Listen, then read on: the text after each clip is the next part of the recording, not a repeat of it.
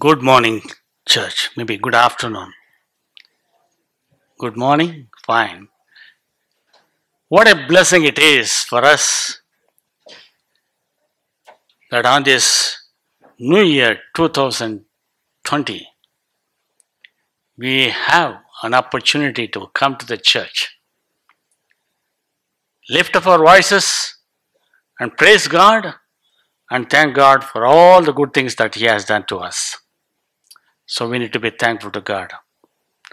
The Lord was good to us all through the year 2019, taking care of us. And so this morning, let's all together say goodbye to the year 2019 and then let us say welcome to the year 2020. Do you know one thing? There are many people in this world who have said goodbye. No more to see the dawn of another day. How blessed it is for us on the first Sabbath of the year 2020. We have an opportunity to come into the presence of God and then place our lives into hand and worship Him. I would like to start my little message with a testimony. As my wife told, I had two major fall this year, last year, 2019. One was at Ahmedabad, one was at Yeshwantpur. I just want to narrate to you the incident that took place in Yeshwantpur. I was supposed to go for a evangelistic crusade at Bidar, Kumnar Palli. Elder Krishnamurti had given me a gift to give to the church, that is the communion set. I was carrying the communion set. Along with that, I carried my suitcase and my bag, and then I was I was close to the Yeshwantpur railway station. I think the baggage was heavy, then I thought, let me take the escalator and then go up quickly. So I took my suitcase and the communion set and my bag and then stepped into the escalator. As I stepped in the escalator, I don't know what happened. Suddenly, the communion set slipped out of my hand. Then I thought I wanted to hold that. So I left my suitcase and held that communion said, By then, the suitcase went down. Then the bag. And then you can see this escalator, it goes up. The bag and the communion set, they are tumbling. Along with that, I was having a somersault. One round, there are edges, escalator over there, edges are there, steps are there. One round, I went round, I don't know where I was going, what was happening to me. The second round, I felt really dizzy, I didn't know what's happening. The third round, fourth, the steps are there and it's going up and I was going down, nobody was there near me. And lo and behold, I thought, finish. That's the end of my life. Just I uttered a, uttered a small prayer. Lord, I'm going to your work. Let your will be done. So saying, as I said the prayer, you believe it or not, two young people, I don't know from where they came, like angels, they came and lifted me up and carried me and then went up to the, you know, station. And there was a chair. They made me to sit on the chair. So saying, then they went down to the from the elevator and then picked up my bags and brought and kept it near my side and said, Sir, we'll come back and take these things for you to go to the train. So they left the place and went away. You believe it or not, as this tumbling was taking place, the edges of that escalator, you know, they went deep into my back. The blood was oozing out of my back, and my shirt was wet. It was blood, lot of blood. I don't know what to do. I could not believe it. I think literally around 10 minutes I took rest. And then I saw my watch. Still, there was another 10 minutes for me to go and board the train. I prayed a prayer God, give me strength. So saying, I took my baggage, slowly went again, went and went to the fifth platform, boarded the bogie where I'm supposed to go. I went and kept my things, and I just lay flat on the, you know, the seats which were there. As I sat there, as I slept there, the pain was so much, but nevertheless, Lord, I leave it to your hand. You believe it or not, whole night I suffered. Early morning, 6, 6.30 I reached. By then the driver from North Karnataka region, Bidar, came and picked up my baggage and I told him the incident. Immediately rushed to the, what do you call this, nearby medical store. He brought the spirit, he brought the cotton, he brought the medicine. Immediately wiped all my bed, removed the shirt and threw it. And then he told me to rest for another two, three hours. After that, he came back and saw me. He gave me food. What an experience it is.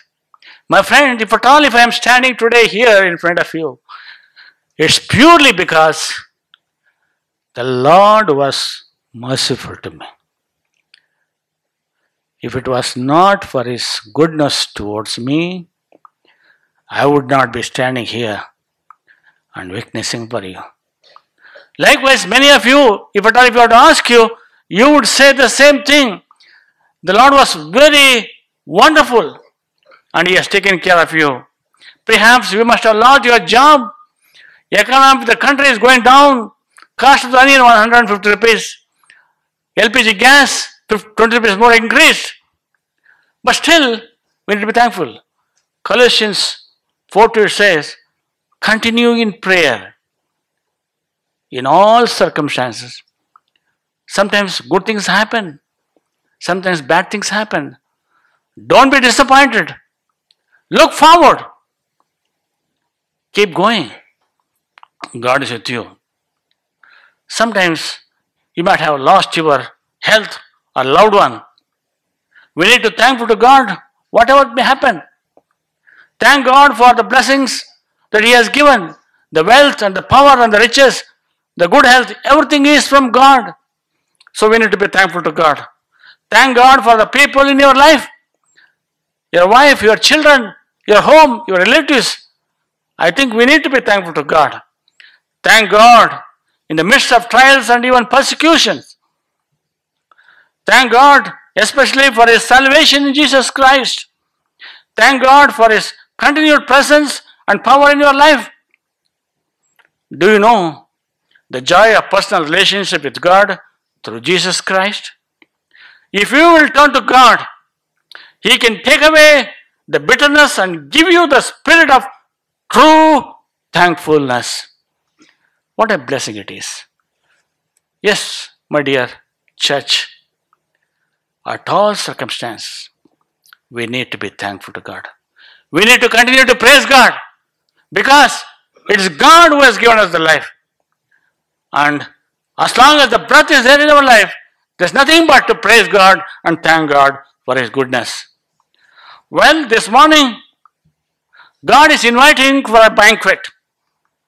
The first part of the banquet, the ordinance of feet washing. The ordinance of feet washing. Invitation for banquet.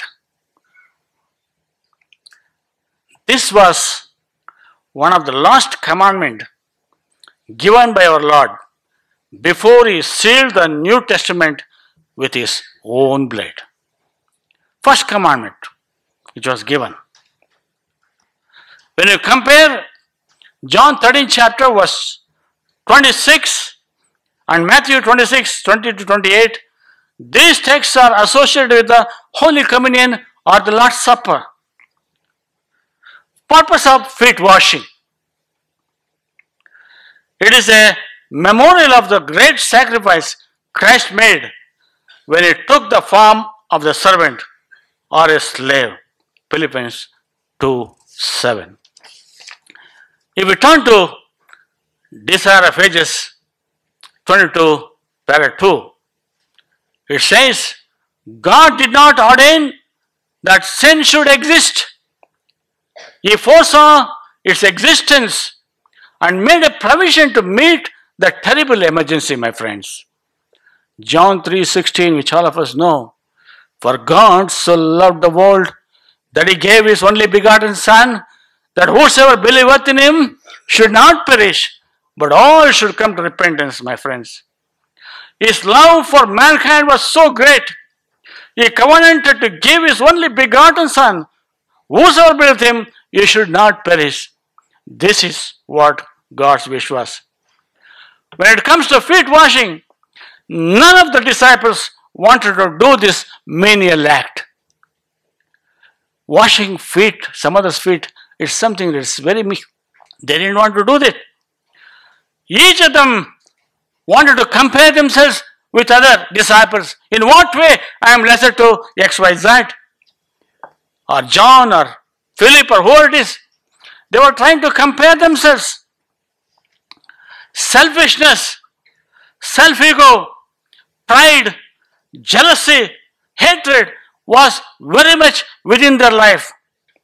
They wanted to show that they were more superior to others. What about us?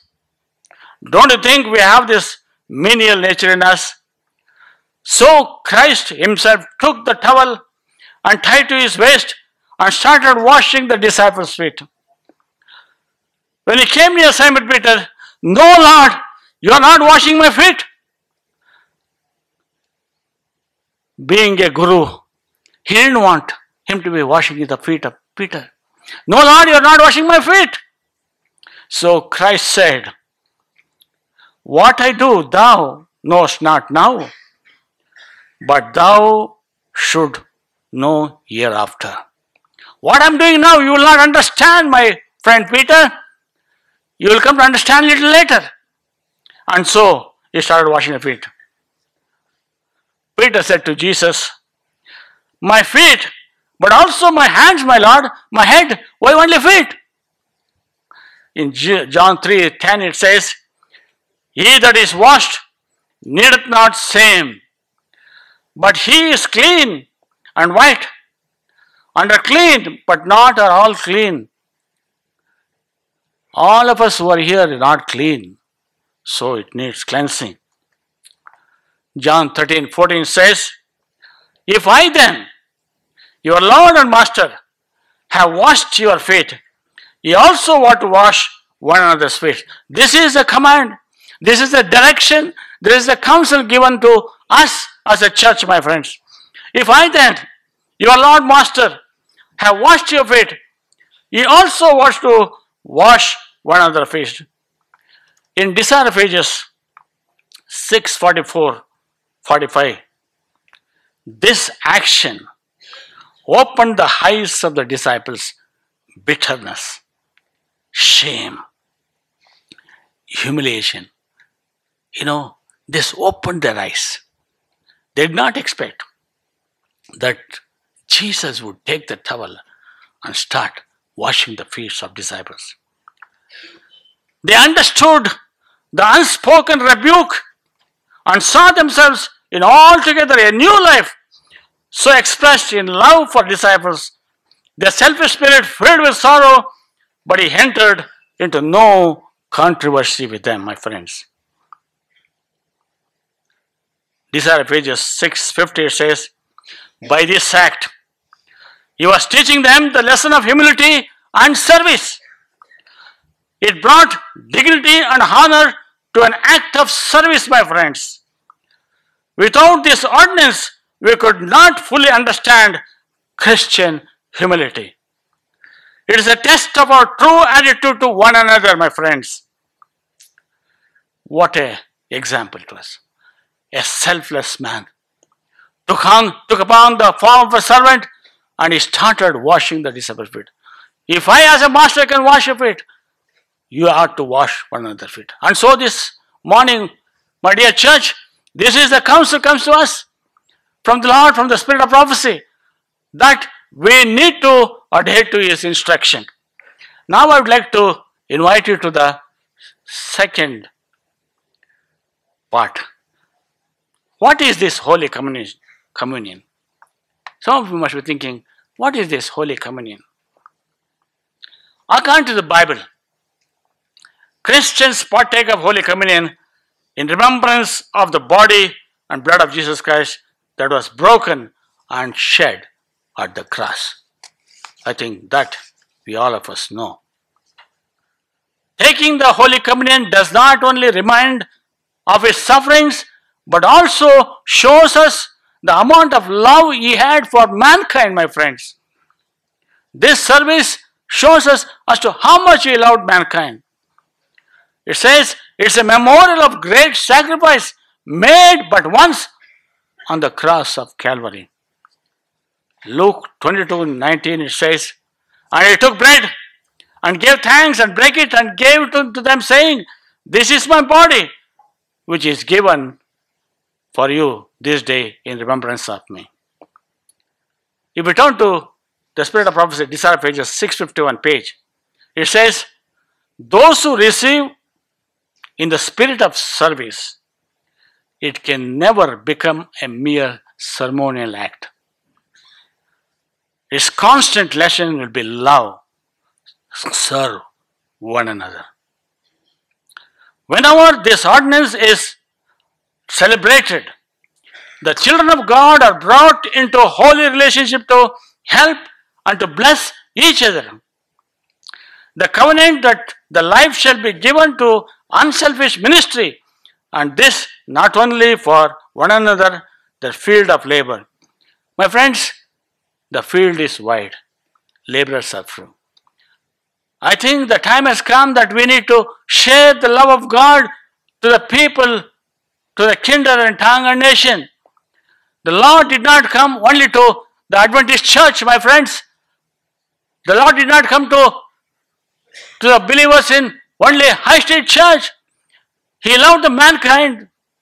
It says, Whosoever believeth in him should not perish, but have eternal life. Now, the next question could be who can participate in this Holy Communion? Many people have this doubt. Can I participate in this communion? Is it for me? Sometimes some strangers come here. You know, they also ask this question. It says, All who believe that Christ died for them can participate in the Holy Communion according to the Holy Scriptures. Who is that? All who believe that Christ died for them and they are accepting the fact that Christ died for them and through him we have the hope of salvation can participate in this Holy Communion. This is a command of the Lord, my friends. And also one more very startling statement is given here. It says, no Israelite who was exempted from eating the Passover. What is referring to Israelite? Who is this Israelite? It is you and my, me, friends. It is the church of God. That we are the spiritual Israel. None of us are exempted from taking part in the Holy Communion. None of us should leave this place without participating in the Holy Communion. Because this is a command from the Lord. It's not from any mankind, my friends. If at all, if you have done that to you, you ought to do it unto your fellow brothers and sisters. This is a command, my friends. And so, it is an invitation for all of us. We can participate. It says, Christ died for all, and for that every reason, we have no right to forbid anyone who wants to take part in the Lord's Supper. Christ died for every one of us. And so nobody has the rights to say that you should take part and you should not take part. My friends, your relationship with God is most important. Your, your connection, constant connections with God is most important. Outward, you might not be looking nice, but as an individual, your relationship with God is something superior, my friend. God knows your heart. Yes, God knows us. Each of us were seated here. And so this afternoon, the Lord is inviting each one of us for a banquet. Galatians 2:28 says, I am crucified with Christ, Apostle Paul says. Nevertheless, I live, yet not I, but Christ liveth in me. And the life which I, which I now live in the flesh, I live by faith of the Son of God who loved me and gave himself for me. Yes, my friends, what a testament that Apostle Paul is giving to us. In the spirit of complete reconciliation with our fellow brothers, we need to come to the Lord. We need to come to the Lord. My friends, this morning I would like to take your imagination to that rugged cross where Jesus Christ was crucified. I had the privilege of visiting, visiting this Golgotha called the skull. It's all in the form of a skull. Not once, twice I visited this place. I would like to take your imagination to that Mount Calvary, my friends. And here, our Lord and Savior Jesus Christ did something which we can never forget in our life. If it was not for Him coming to this world, taking the human form, and then going through the life and showing the life to us, and in turn, you can live in this world without committing sin. This is and so I want to direct your call your imagination back to the Mount Calvary. We are blessed to have young people in our church. My friends, if the work of God has to go forward, it is the young people, my friends. We have to just give them an opportunity and they would carry on the work which God has left behind. And so I would like to invite the High Street HSO to come front and they in turn will sing to us a song which clearly explains to us as to how Christ suffered on the cross of Calvary, how he went to the pain and agony on a hill far away. You know, that's a song, a beautiful song which depicts Christ, Jesus Christ, sacrifice on the cross of Calvary. Young people, HSO.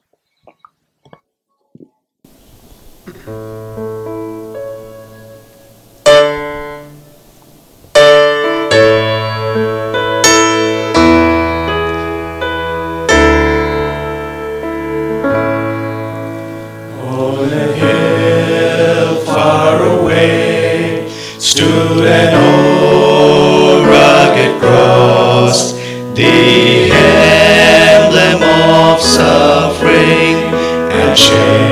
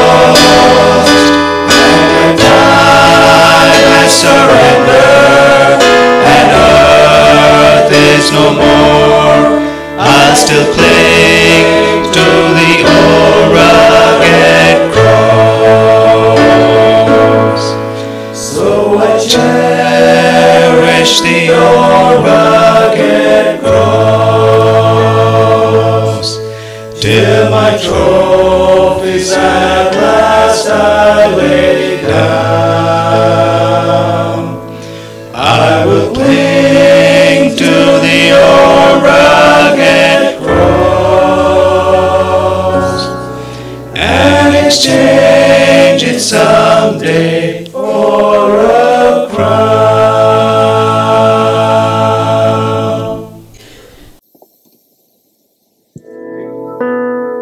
Thank you, young people, for singing that melodious song.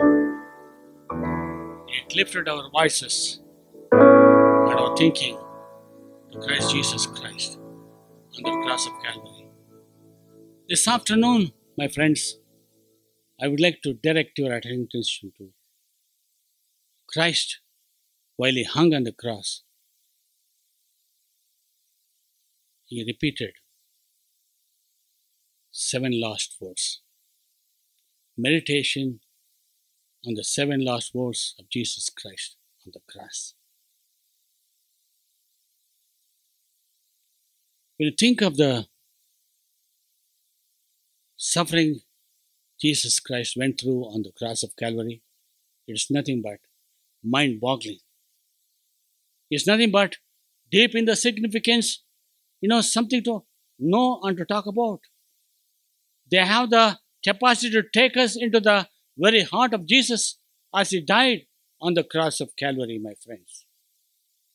They have the ability to release the power of the cross into our daily living and give us the opportunity to prepare us for the end time tribulation.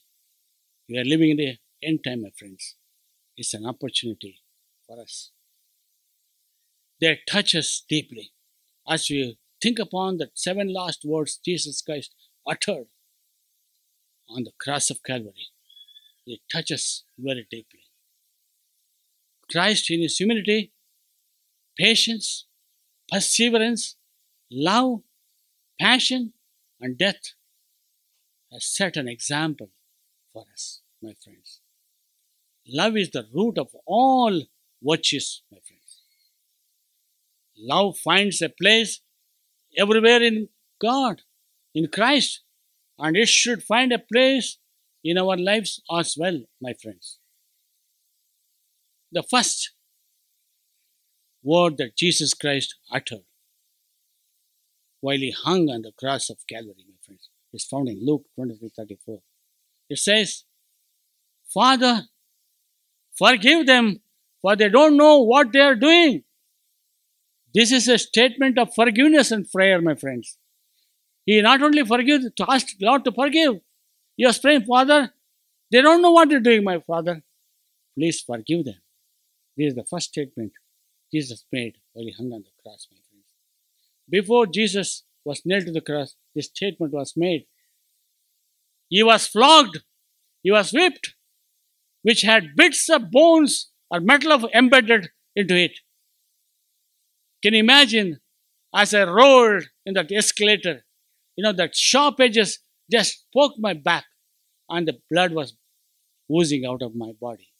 Similar to that, in the olden days, when they whipped a person, they had a hook attached to the whip. And they whipped him, my friends. We see that the blood was just flowing out of his body. Soldiers mocked and beat Jesus Christ. For they says, crown of thorns were laid on his head. They beat him and spit him on his face. What a ridiculous thing a king of universe experiencing. He was forced to carry his own cross. When I was in that you know place where Jesus walked, carried his cross, when I went with the, another group, one young man, he took the cross which was there and he carried all through that road, know, expressing the agony. And he wanted to tell that Jesus, you have suffered for me. What an experience it is. he forced he was forced to carry his own cross. He could not carry. The weight was so much. It was not his own weight, my friends. It is the sins of mankind. It was so heavy that he could not bear. As he was going carrying that cross, we see that he falls down. During that time, with that Simon coming to his rescue. Jesus was executed publicly, my friends. Further, we see that every moment of struggle was watched by the crowd. After being betrayed, falsely convicted, beaten, spat upon, unjustly nailed to the cross to die an agonizing death. What a death it was, my friends. Jesus never harbored no hatred for his tormentors, but offered them forgiveness. What is our status? What is our nature? If my fellow brother does something little harm to me, I want to wait for an opportunity to take revenge on that person. But Jesus was not of this nature, my friend. Says Jesus never harbored no hatred for his tormentors, but offered them forgiveness. Father, forgive them for they know not what they do. His first words from the cross, Father, forgive them for they know not what they are doing. What a matchless character Jesus was. That was the first word that was uttered on the cross of Calvary. There are some spiritual lessons that we can learn from this. What are the spiritual lessons that we can learn from this first word? It says, Forgiveness reaches out to this undeserving. My friends, you and I were seated here. We don't deserve that. We don't deserve to call God from our mouth. We are sinful. It says forgiveness reaches out to those undeserving. We have to forgive others just as Jesus forgave, forgave. Many times we don't do this, my friends. It says, Are you harboring any bitterness and anger against someone who did you wrong? Are you waiting for a taken up opportunity to vengeance upon your brother? My friends, the scripture says very clearly, vengeance belongeth unto God. Like Christ forgave your fellow brothers and sisters, my friends, it is your duty and my duty. He is inviting us today as we partake of this banquet. We need to forgive one another. Very important, my friends. It says we must forgive others because God forgave us. Swami Vivekananda makes a very startling statement. Please take note of this statement. Beautiful it is. The statement is like this Mind is not, what is that? What is that? Dustbin. What goes into the dustbin? What goes? The trash. It says, mind is not a dustbin to keep anger, hatred, jealousy, but it is the treasure box to keep love, happiness, and sweet memories, my friends. A Hindu philosopher can make a statement of this nature.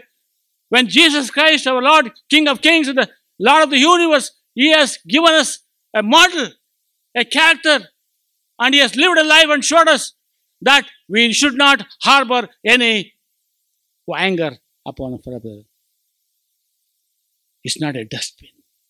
It's a place where we keep good memories, happiness, joy, the love of God. What a beautiful thing it is. We praise God for this statement. Let's go into the second word Christ uttered on the cross of Calvary. As he hung on the cross, the second word he uttered. You know, today you will be in paradise with me. In Luke 23 39, that's what it says. Who said this? One of the criminals hanging there threw insult at him. Aren't you Messiah? Save yourself and save me. Sometimes we also ridicule our fellow brothers. What, sir? You are like this. You are a big man in the church. You are only going through this painful experience. Come on, finish it. We talk this way. That's what the criminal was trying to Jesus Christ.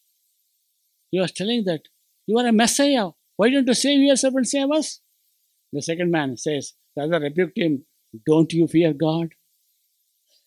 Next statement says, Have you ever compared yourself to two thieves who hung on the cross? How much are we like the second thief? He recognized Jesus and what he could do for him. Are we as a church, do we recognize Jesus Christ that he is the hope of salvation? Through him we have the life. He conquered death. And those of us who believe and die, you and I can conquer death. Those of us who are here, who are suffering with different sickness, by his very touch he healed. This morning I'm extremely happy to see my friend Ramesh Gaikwad. Praise God for your life, Ramesh. Keep it up. God is with you. Don't be ever worried. I know God has a place for you. And we have been praying for you. I know the Lord will take care of you. God will do miracles. Even in 21st century, my friends, you can experience miracles. I was having hiccups for more than 15 days. I went to doctors, all sorts of treatment. Endoscopy, that scopy, this scopy, everything was over. Finally, with a bill of 10,000 rupees, they told my wife, You take your husband, that's all, he's going to die. My wife took me back to the house, and lo and behold, she was a prayer warrior. She continued praying without anybody's knowledge for three days and three nights. And lo and behold, on the third day, I just vomited something bitter, something black. That spur of the minute, that hiccup stopped. My friends, God can do miracles. One of our Kannada church member who had hiccups like me, he expired. Then I thought I'll be the next person in that graveside. I'll be sleeping by the side of him. Yes, my friends, I want to tell you one thing. Don't you worry. Don't be discouraged about death. It says death is the gateway to heaven. I'll come to that. So let's be, he has conquered death. And let's be positive. Let's look up to Jesus Christ because he will give us the strength. He says, he said to Jesus, Remember me, Jesus, when you come as a king. Jesus said, Thou shalt be there with me in paradise. What a blessing. What a blessing it was. The third word Woman, here is your son. Here is your mother. John 19, 25, 27. Jesus Christ called his mother Mary and said, Woman, here is your son. Here is your mother. Jesus showed divine love for his mother. My dear young people who are in the church today, do you have concern for your fathers and mothers today? There is a lesson for us that we need to learn. While Jesus Christ was hanging on the cross, he did not forget his earthly mother, my friends. He wanted to see that the mother was safe and sound. Do you have a concern for your parents? Is a question this morning. He says, Jesus' duty as the oldest son to provide for his mother and family members. Not only our parents, what about our family, our brothers, our sisters? If they're in difficulties, in what way can you be helpful to them?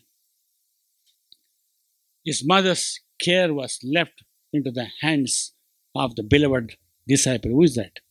John.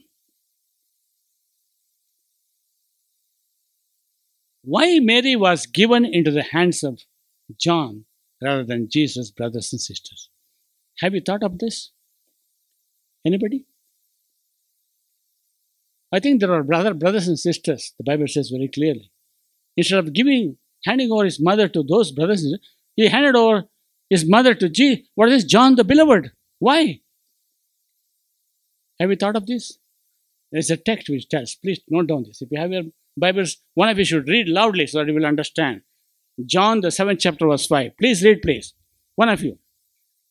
John, the seventh chapter, verse 5. Let us see what it says there. If you have your Bibles, turn to the book of John. There, the answer is there. why Jesus Christ left his mother into the hands of John the Beloved. Yeah, read loudly.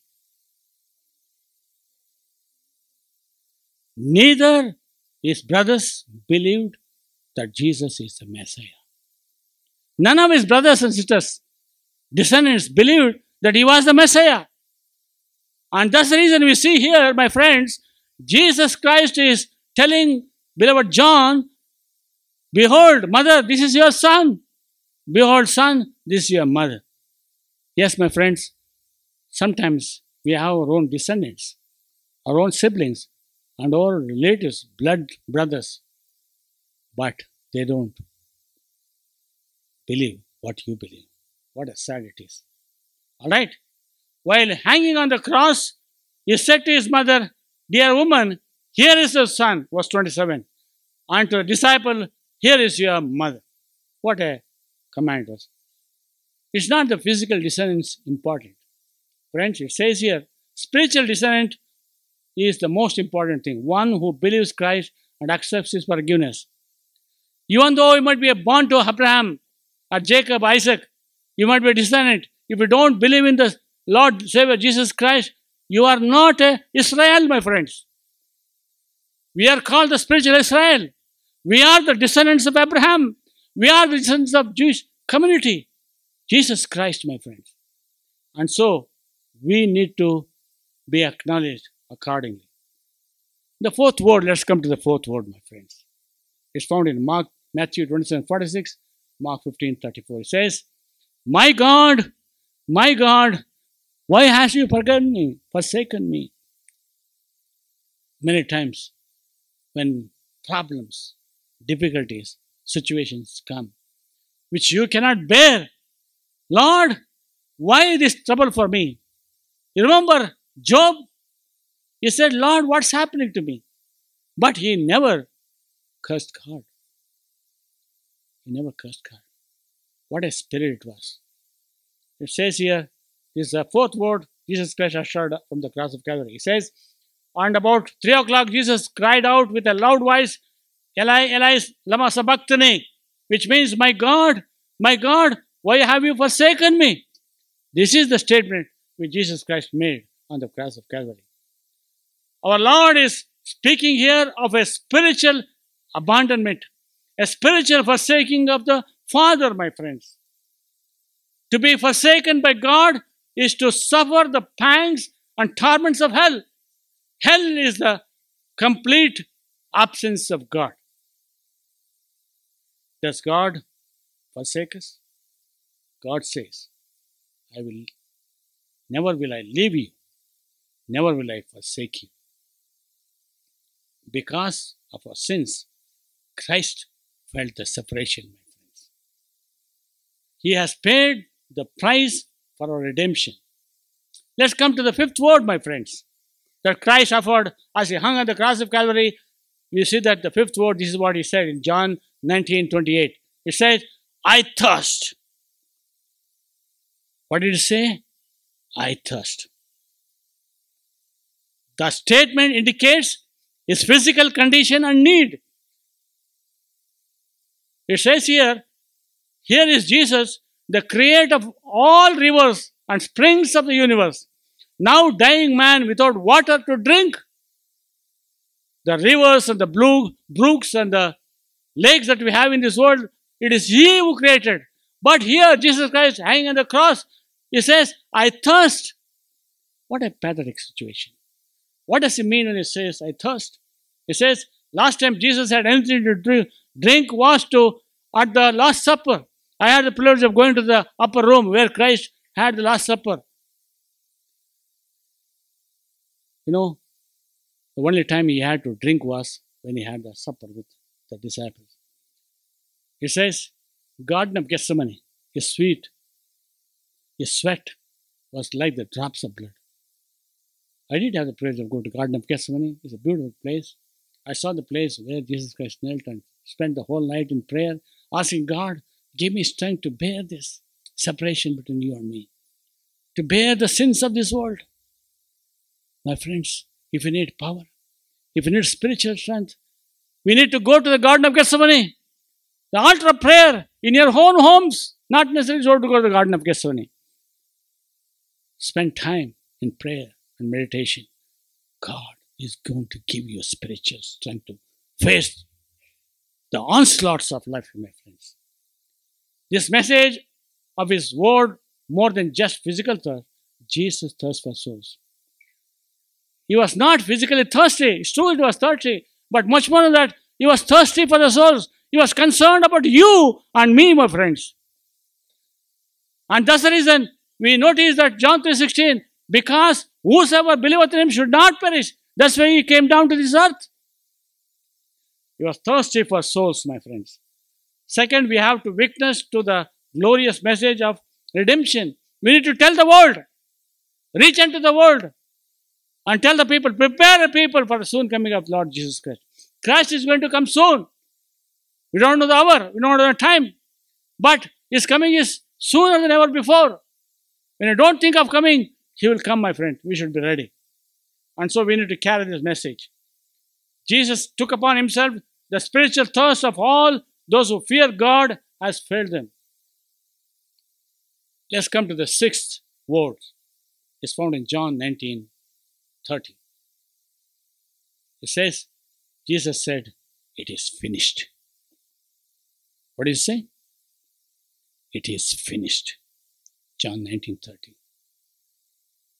With that, he bowed his head and gave up his spirit. What an agony it was. For no reason.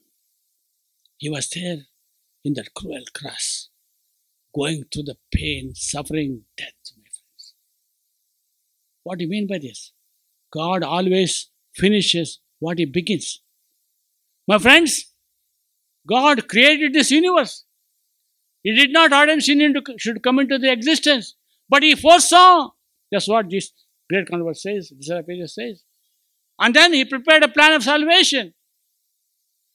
And it's because of that you and I have the hope of salvation. If it was not for that, we would be completely doomed, my friends. It says God always finishes that what he begins. He said Jesus Christ is the Alpha and the Omega, the beginning and the end. Revelation 1 8. The work for which he had come to this world is over. What was the work? Saving mankind, giving his very life to save mankind. He could, he could shout triumphantly from the cross, It is finished. He has done. Yes, my friend, it was a victorious thing. Christ went through that agony for your sake and my sake. His work completely and perfectly.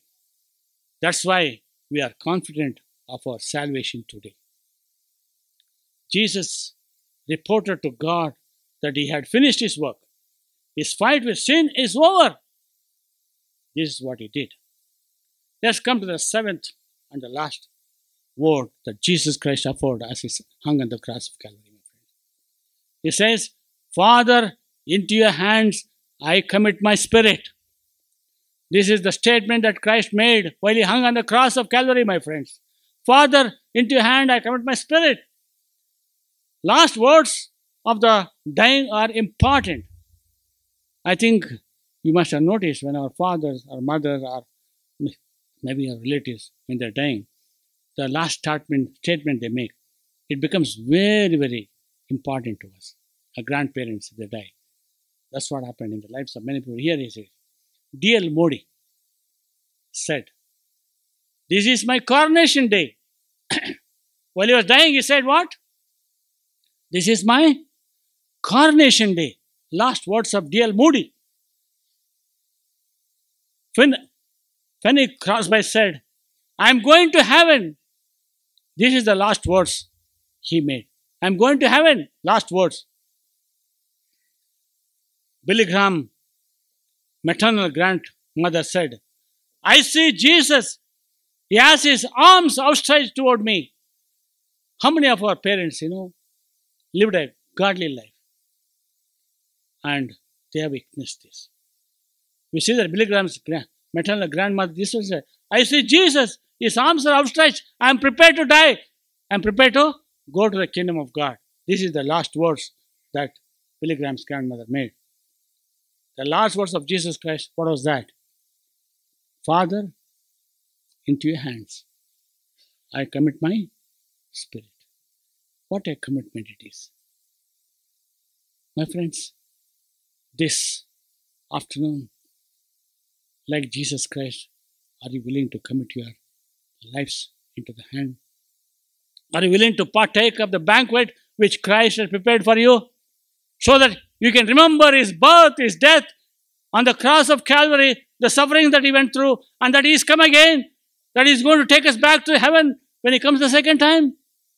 Do you, do you want to accept this little information what God has given to us? It was a life of communion with God.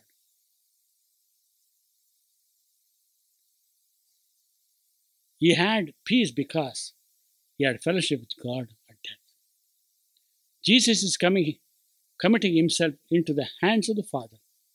Tell us how, tell us we can commit our lives fully into the hands of his service. When Jesus himself has committed his life into the hand of God, what about you and me? We need to fully surrender ourselves into the hands of God. Service of Mother Teresa. Have you seen that? I think some of you have visited Auto Raja.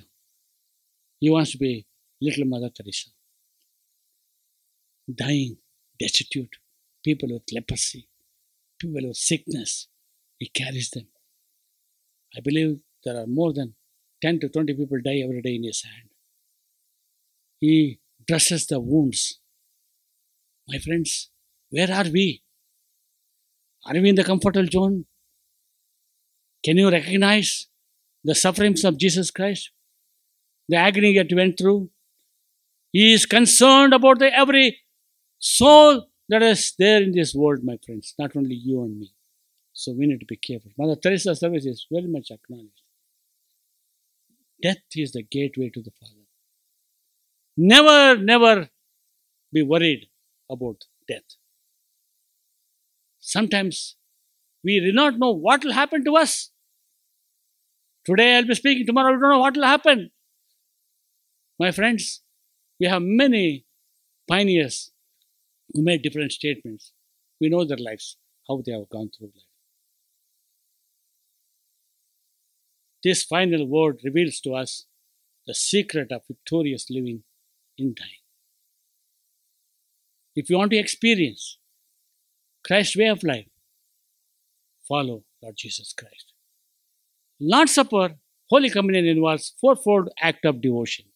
The first one is there is an act of self-examination. Before you come into the temple, I'm sorry, table, we need to examine ourselves and rectify ourselves. If at all, if there's any sin in our lives, please ask forgiveness from the Lord.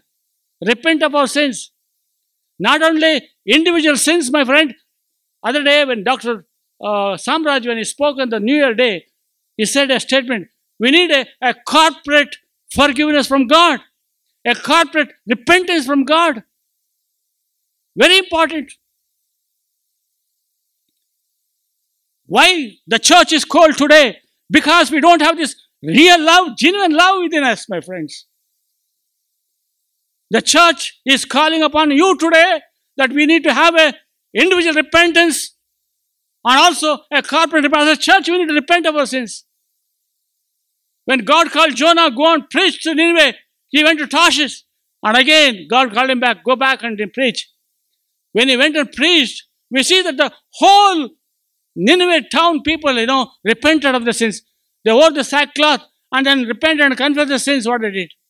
My friends, as a church, High Street Church, the Lord is inviting us today, whatever the differences you have today, with any of your brothers and sisters, let us put it aside. Let us bury it. Leave it behind 2019. Let us reach out unto our fellow brothers and sisters. Shake hand and invite them. When you go to the communion service, when you go to the, you know, what you call this, uh, washing of the feet, many times I notice that only friends and friends wash their feet. This is not what God wants. My friends, if you think that you have done something, to go right to that person, ask forgiveness, take him by the hand, and go and wash his feet. That is real Christianity, my friends. If you don't do this, woe unto us, my friends. Yes, a beautiful thought is given to us in the scripture. All right, there's an act of self-examination. Next one it says there's also the act of dependence. Jesus is the bread and the wine. And also it says there is also the act of remembrance of the Lord's death. It reveals that Christ died for us. Participate in the Holy Communion. There is also the act of hope that Christ is going to come soon. Till he comes, the Lord said, Do this in remembrance of me. Do this in remembrance of me. Holy Communion consists of two parts, as I said feet washing service, our true attitude toward one another. It is also a reminder we must be clean when approaching the Lord's table, my friends. If at all, if anything is there in our heart, bury it beneath. Ask God's forgiveness. Kneel down and place it before God. Lord, forgive me. And go to your brother and say, Forgive my brother. Let's have a new life. We have started. God has given us an opportunity. 2020 is yours and mine. How are you going to spend 2020 is a question that God asks us today. An opportunity is given to us. Lord's Supper symbolizes God's means of atonement for our sins. We cannot claim to love Jesus and refrain from the great memorial for his love for us, my friends. Very important. Billy Graham. No, he made this startling statement. Before I conclude I read the statement, once again, I want to take your imagination back to the old rugged cross. Our young people, you know, came and sang that beautiful song here, my friends. I believe on that rugged cross. I think you and I need to believe that Jesus Christ is the risen Savior. The reason why Jesus did not hand over his mother to his brothers and sisters, they did not accept that he is the Messiah, my friends. And he said, John, behold your mother. And then to John, behold your son. My friends, today, God is calling. This is what Billy Graham says. Beautiful statement. Please take note. This is the last statement I'm reading to you. It says, God proved his love on the cross. When Christ hung and bled, it was God saying to the world, I love you. God saying to the world. My friends, it's because of his love that he had to make this sacrifice. What a sacrifice. And so this morning, church, I want to invite each one of you to surrender yourself to God. Miss E.G. White says, if at all, if you want to experience a real close relationship with God, spend at least 10 to 15 minutes, you know, meditating on the life of Jesus Christ and his experience on the cross. When you do this, God will give you the newness of life. The love Jesus has. What a beautiful opportunity. 2020. God has given us an opportunity to participate in the banquet. Let's all participate and come back for the Holy Communion, the bread and the wine. God bless you.